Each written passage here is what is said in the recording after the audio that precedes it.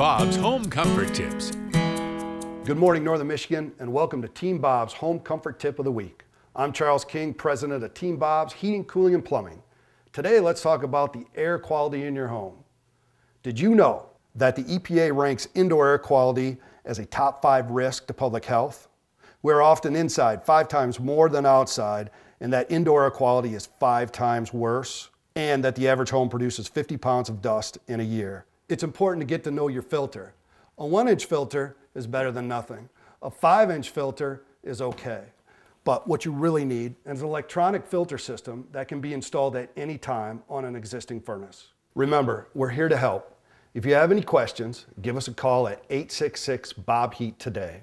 Thanks for listening and have a great, safe day. Watch Team Bob's Home Comfort Tips every Wednesday morning on 7 and 4 News Today, just before the Today Show.